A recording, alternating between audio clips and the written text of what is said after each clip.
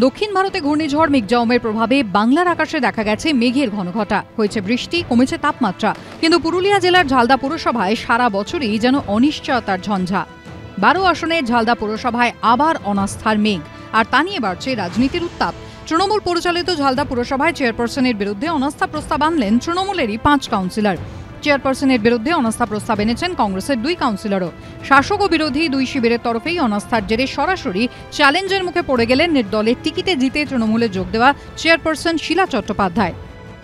ঝালদা পুরসভার যে বিষয়, সেটা আমাদের নজরে এসেছে এবং এটা নিয়ে আমরা দলীয় স্তরে আলোচনা করছি এবং আগামী দিন যাতে ঝালদা পুরসভার আমাদের যারা কাউন্সিলর আছেন, একসাথে ঝালদা পুরসভা সুষ্ঠুভাবে চালানো যায়, সেই বিষয়ে সিদ্ধান্ত নেওয়া হবে।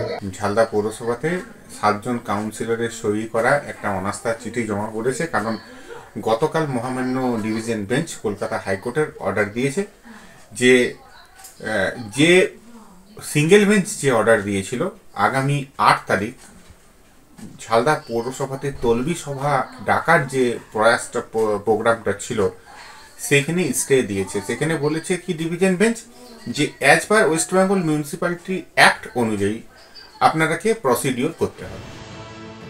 যাকে ঘিরে এত টানা পড়েন ঝালদা পুরসভার সেই চেয়ারপারসন শিলা চট্টোপাধ্যায় অবশ্য এই নিয়ে কোনো মন্তব্য করতে চাননি। গত পুরভোটে ঝালদার বারোটি ওয়ার্ডের মধ্যে কংগ্রেস ও তৃণমূল দুপক্ষেই পাঁচটি করে আসনে জয়ী হয়। নির্দল প্রার্থীরা জয়ী হন দুটি আসনে।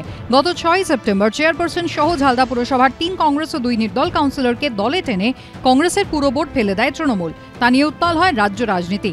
আর সেই দলবদলের ফলে বারো আসন বিশিষ্ট ঝালদা পুরসভায় কংগ্রেসের কাউন্সিলর সংখ্যা কমে হয় দুই, আর তৃণমূলের আসন সংখ্যা পাঁচ থেকে বেড়ে হয় দশ। তৃণমূল ঝালদা পুরসভা দখলের পরেও টানা পড়েন কমেনি। চেয়ারপারসন শিলা চট্টোপাধ্যায়ের বিরুদ্ধে কাউন্সিলরদের অন্ধকারে রেখে সিদ্ধান্ত নেওয়ার অভিযোগ তোলেন তৃণমূল কাউন্সিলরদেরই একাংশ। ঝালদা পুরসভার চেয়ারপারসনের অপসারণ চেয়ে জোড়া মামলা দায়ের হয়েছিল কলকাতা হাইকোর্টে। একটি মামলা দায়ের করেছিলেন পাঁচজন তৃণমূল কাউন্সিলর। আরেকটি মামলা দায়ের করেছিলেন নিহত তপন কান্দু শ্রী পূর্ণিমা কান্দু সহ দুই কংগ্রেস কাউন্সিলর। শিলা চট্টোপাধ্যায় তিরিশে নভেম্বর পর্যন্ত ঝালদা পুরসভার চেয়ারপারসন পদে থাকতে পারবেন বলে নির্দেশ দিয়েছিল হাইকোর্ট। সেই মেয়াদ ফুরোতেই আটই ডিসেম্বরের মধ্যে আস্থা ভোট করানোর নির্দেশ দেন বিচারপতি অমৃতা সিনহা। তা খারিজ করে বিচারপতি অরিজিৎ বন্দ্যোপাধ্যায় ডিভিশন বেঞ্চ জানিয়ে দেয়, পুরো চেয়ারপারসনকে সরাতে হবে পদ্ধতি মেনে। পুরো আইন অনুযায়ী চেয়ারপারসনের বিরুদ্ধে ব্যবস্থা নেওয়ার বিষয়টি খতিয়ে দেখবেন মহকুমার শাসক। পুরসভায় ক্ষমতাসীন দলের সঙ্গে আলোচনা করে তার বিষয়ে সিদ্ধান্ত নেওয়ার কথা। এই পরিস্থিতিতে নতুন করে তৈরি হল অনাস্থা জট। Sandip সমাদ্দারের report ABP Ananda, Purulia.